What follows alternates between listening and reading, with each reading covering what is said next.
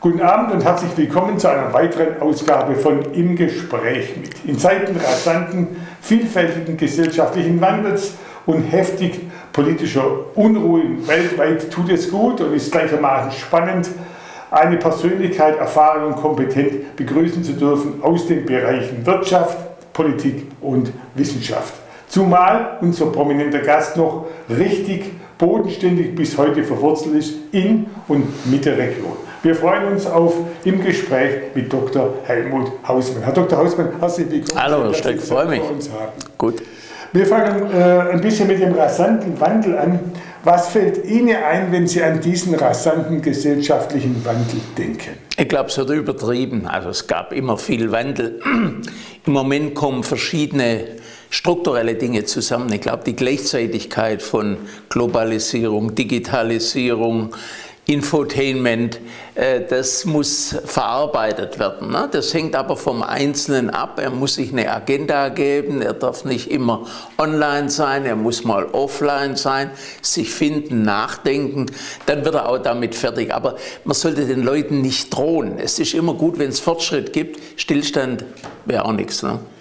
Wir kommen zur Politik relativ zügig, weil das sind Sie doch am bekanntesten.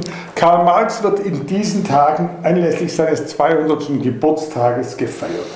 Seine Krisentheorie, dass der Kapitalismus irgendwann mal endet, scheint wirklich aktuell sei, zu sein angesichts unserer permanenten Finanzkrise. Was sagt der Wirtschaftsexperte? Ja gut, Karl Marx ist natürlich ein Theoretiker, typischer deutscher Philosoph, großer Theoretiker auf allen Gebieten, auch Kant ist.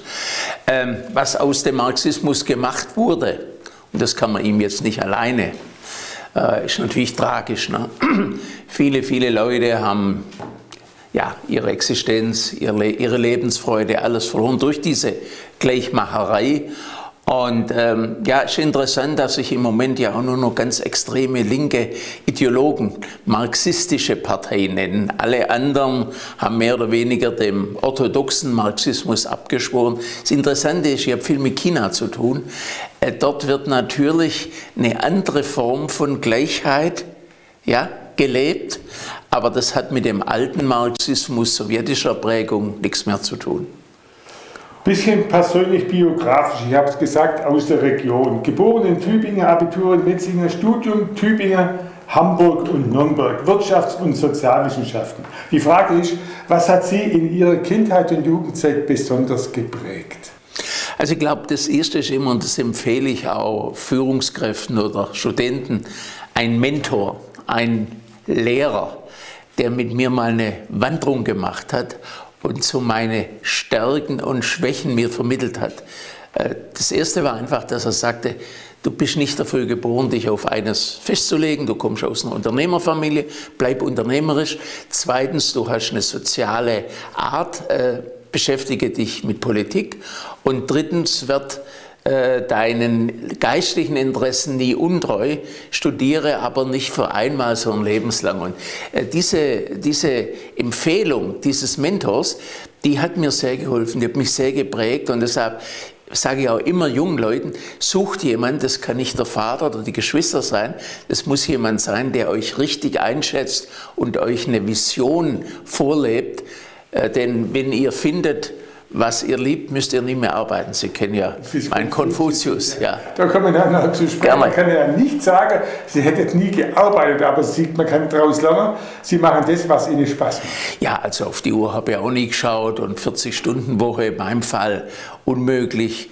Ähm, zu viel Nachtarbeit und keine freien Wochenende in den äh, 35 Jahren aktiver Politik, das muss man nicht haben, aber das sind die Bedingungen. Heute ist es ein bisschen besser. Ich mache noch sehr viel, aber selbstbestimmt. Die Frage ist natürlich äh, Politik heute. Und da würde Sie immer um relativ kurze Statements bitten. Einmal natürlich zu Ihrer Partei, dann Deutschland, Europa, USA, wenn uns die Zeit noch reicht. Was sind aus Ihrer Sicht nochmal nachträglich betrachtet herausragende Ereignisse gewesen in den Jahren, wo Sie Bundeswirtschaftsminister waren? Natürlich wahrscheinlich die Wiedervereinigung. Gut, äh, es waren zwei epokale Dinge. Ich meine, wer dieses Glück in der Laufbahn als Politiker oder im Leben hat, die Wiedervereinigung der beiden deutschen Staaten mit allem, was dazugehört, dort Marktwirtschaft, dort Planwirtschaft, hier mehr Mittelstand, dort eigentlich nur Kombinate. Das war eine fordernde Aufgabe und das andere ist äh, Europa. Und vor allem die Einführung der europäischen Währung, die bei aller Kritik heute nach wie vor angesichts Trump und der Chinesen äh, das Markenzeichen Europas ist. Und deshalb sollte man den Euro weiterführen, verteidigen. Eine Geschichte müssen Sie aber bitte unsere Zuschauer erzählen, ich habe sie mal von Ihnen schon gehört. Ja dass Sie während des Mauerfalls sozusagen in jeder Novembernacht in Polen waren mit Kohl und Weigel und dann davon überrascht wurden. Kann das sein? Hatten Sie damals keine Ahnung? Ich sehe das noch vor mir. Wir waren eingeladen, gab ein Staatsbankett. Ähm, die Parteiführer, Sie haben es erwähnt, CDU Kohl, auch Genscher, mein Parteichef, Weigel, CSU. Wir saßen beim Abendessen, es kam Bote zu Kohl. Kohl hat um Unterbrechung gebeten, war völlig verunsichert, hat sich nochmal erkundigt, hat dann um eine Auszeit gebeten, hat das Bankett verlassen, hat dann praktisch sich rückversichert, kam zurück, die Mauer ist offen. Unglaublich, zeigt natürlich auch die Nichtvorhersehbarkeit ne? und auch das Versagen, was heißt Versagen? Die Geheimdienste hätten ja auch sagen müssen, Herr Bundeskanzler, äh, nächsten, nächsten Tag geht's los, Sie können jetzt nicht nach Polen reisen. Ja. Aber das war unglaublich. Ja, und dann äh, die Folge war natürlich, äh, ich blieb zurück als Faustpfand, damit Polen nicht gleich den Eindruck bekommt, jetzt sind die Deutschen wieder vereinigt, jetzt geht es wieder los. Aber die drei Parteiführer, wie gesagt, die flogen dann sofort zurück nach Berlin und ich hatte dann am nächsten Tag noch die offiziellen Gespräche über Europa und über Wirtschaft fortgeführt. Mhm. Aktuell Politik, Ihre Partei ist wieder im Bundestag, erfreulich. War es richtig, Jamaika Platz zu lassen? Äh, da fehlt die Zeit, lieber Herr Steck. Äh, ich würde so sagen, es waren zwei Probleme.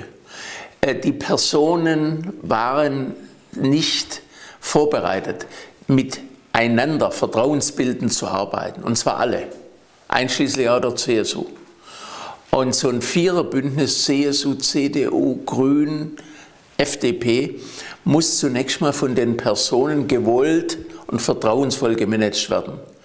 Das Zweite war sicher, dass der Herr Lindner zu lange gewartet hat, sodass man jetzt der FDP den schwarzen Peter geben kann. Aber strukturell war das richtig, nicht mit wenig rauszugehen. Das Problem hatte schon Westerwelle. Und der Lindner wird beim nächsten Mal, und es wird wieder Verhandlungen geben über Jamaika. Ich glaube nicht, dass die SPD auf Dauer in der Regierung bleibt. Und dann muss es aber auf andere Weise vertrauensbildend vorbereitet werden. Große Koalition haben wir jetzt. Was wäre auf Ihrer To-Do-Liste für die neue Bundesregierung ganz oben zu machen? Für die jetzige oder für die nächste? Für die neue. für die jetzige, ja. Für die jetzige. Die doch noch zustande gekommen ist. Ja, also sie verteilt natürlich Geld. Äh, sie tut zu wenig für Innovation, für Mittelschicht, für Wachstum. Äh, wir, wir könnten uns jetzt eine Steuerreform leisten, also nicht Steuergeschenke, eine Steuerreform. Wir könnten die Forschungsförderung für mittelständische Unternehmen extrem ausbauen. Aber das alles ist natürlich ein Kompromiss von zwei Volksparteien, wo jede Gruppe versucht hat, ihre Leute zu bedienen, da etwas mehr äh, für die Familie, dann falsches Rentenversprechen angesichts einer demografischen Entwicklung. Also meines Erachtens eine wenig innovative, zukunftsgerichtete Agenda. Das umstrittenste Thema bleibt Flüchtlingspolitik, Zuwanderung. Provokativ gefragt, gehört der Islam zu Deutschland? Ähm, ich bin kein Religionstheoretiker und ich höre auch immer zu in Tübingen. Wir haben ja einen eigenen Lehrstuhl für Islam. Ich bin großer Anhänger vom Weltethos. Also ich glaube, nicht, ich weiche nicht aus, aber glaube, entscheidend wäre viel mehr, was Professor Küng vorgelebt hat, was ich auch meinen Studenten vermittle, die Entwicklung eines Weltethos. Das heißt, welche Werte, Kriterien aller Religionen lassen sich in einer globalen Gesellschaft, auf die muss man sich einigen. Und auch jetzt diese Kruzifixgeschichte vom Herrn Söder, das hat alles so was altmodisches, kreuzzugshaftes an sich. Das lehne ich ab. Europa. Ich habe gefunden, die drei größten Probleme Europas sind eine lahmende Wirtschaft, die massive Flüchtlingskrise und ein wenig Vertrauen erweckendes Bankensystem. Wie sehen Sie es? Ja, also ich drehe es mal um. Macron ist der große Hoffnungsträger. Ja. Auf den muss man sich einstellen. Die anderen Dinge sind bekannt, müssen auch angegangen werden. Aber wir haben nächstes Jahr Europawahl. Wir haben jetzt zum ersten Mal seit vielen Jahren erlebe ich, dass die junge Generation bei Europa zuhört. Das hat mit Trump zu tun, das hat mit China zu tun. Und jetzt müssen wir was Positives, was Visionäres. Das ist auch nicht nur eine Geldauseinandersetzung, sondern Macron geht ja über das weit hinaus. Und auch was damals schon Genscher und Schäuble und wir entwickelt haben, dieses Kerneuropa außen herum Satelliten, die können mehr oder weniger mitmachen. Aber angesichts des weltweiten Veränderungen durch China und Rückzug von USA muss Europa jetzt als dritte Kraft sich positiv positionieren. Glauben Sie, dass es gelingen kann? Sie sagen, Ihre Studenten, Englisch kann jeder. Überlegt euch, Chinesisch zu lernen. China mit seinem ungebremsten Wirtschaftswachstum rückt in die USA-Position möglicherweise. Kann man fragen, ist die Zeit Europa als dominante Größe vorbei? Als dominante Größe auf jeden Fall. Wir bleiben ein Faktor in der Weltpolitik, aber im Moment haben wir im Grunde schon in der Weltordnung, ja, wir nennen das ein Duopol. Die beiden Hauptmächte sind USA, China. USA rückläufig durch Rückzug, falsch. Ähm, China sehr offensiv, noch nicht aggressiv, seine Interessen absichernd. Und da muss Europa nicht im Schatten sich bewegen, sondern bilaterale Angebote machen, also Freihandelsabkommen. Die Welt wird sich um Trump herum neu organisieren. Das werden die Amerikaner spüren, negativ. Und Europa muss mit China neue Arten von politischer Strategie und Freihandel ähm, organisieren, denn äh, fast 50 Prozent des Wachstums in Zukunft kommt eben aus China, mhm. nicht mehr aus Europa, nicht mehr aus USA. Bisschen über die Zukunft. Stichworte sind Klimaschutz, Mobilität und Digitalisierung. Was brennt Ihnen am meisten auf die Nägel? Also Klimaschutz, Pariser Abkommen, ganz arg wichtig. Ja, auch sehr positiv, weil in Amerika unabhängig vom Trump einzelne Bundesstaaten sich so verhalten, als wären sie Mitglied. Das ist schon mal gut. Digitalisierung, ja, ähm, Vorsicht in der Sprache. Disruptiv, alles wird zerstört. So gewinnt man die Leute nicht für eine neue Technologie. Man muss sagen, es entstehen neue, anspruchsvolle Arbeitsplätze. Es fallen aber einfache weg. Seid euch darüber im Klaren. Der Hauptpunkt, den ich so sehe jetzt als Ökonom, als Dahrendorf-Schüler, ist im Grund die Frage des gesellschaftlichen Zusammenhaltes. Ne? Auch die Bereitschaft der Demokraten, sich zu einigen. Auch jetzt diese ständige Verdacht, wer eine Führungsposition hat, ist auf der Abschussliste. Da müssen wir auch ein bisschen menschlicher werden, weil wir sonst die falschen Führer bekommen, meines Erachtens. Also dieser gesellschaftliche Zusammenhalt, wie Dahrendorf sagte, Bindungen erlauben, Ligaturen schaffen, Lebenschancen für alle, nicht für eine ganz Gruppe unten oder sich nur auf die ganz unten, sondern um die Mittelschicht kümmern. Das sind so meine Punkte.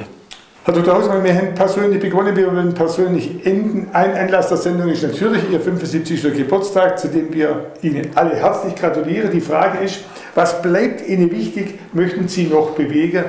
In den kommenden Jahren klar Gesundheit vorausgesetzt. Also, Steck, es lief so gutes Gespräch. Ich dachte, die Zahl ersparen Sie mich.